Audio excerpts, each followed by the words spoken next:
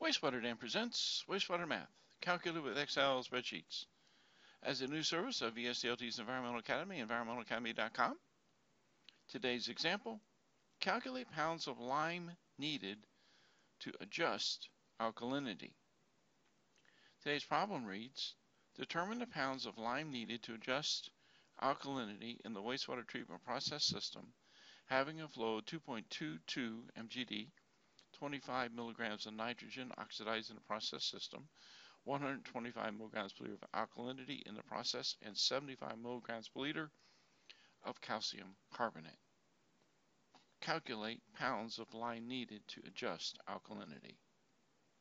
So there's some data that we need to solve this that's not given to us in the problem, and so therefore um, I've actually calculated that in a separate standalone video that I will refer to um, in just a minute.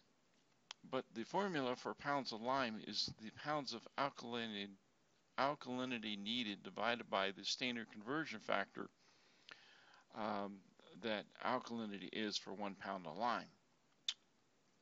Okay, so um, if you go to a blank Excel spreadsheet and you put your cursor in C1 and type lime needed, recognize your answer is going to be in pounds. Put your cursor in A1, set it as um, whole numbers with six decimals and commas every thousand, make it bold and centered, and in the address bar type this formula, equals sign, open parenthesis,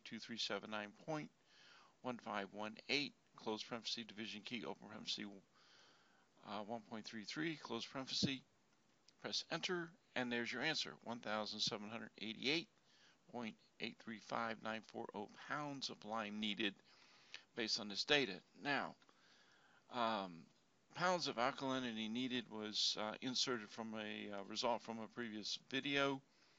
I'm going to take you down there right now. This is where the um, calculation of video and the formula is right here. This is where we get our 2379.15180. You see this formula is bringing in 128.5, which actually was from another stand separate standalone video, which you see, use link is right here with the formula. Um, and uh, this one um, actually is using another standalone video where we use 178.5 as the um, is inserted in here and you see the 178.5 is actually from this video right here. So if we go back again as just as a reminder today's answer 1078.835940 with the separate standalone videos added as bonuses. And so that's your answer. I hope you found this to be useful and helpful. If so please subscribe to my YouTube channel. Also I encourage you to interact and participate. You can do that. Go to my website environmentalacademy.com click on contact, fill out, submit the form, and I'll reply back with an email. And thanks for listening to this 3 minute and 30 second video.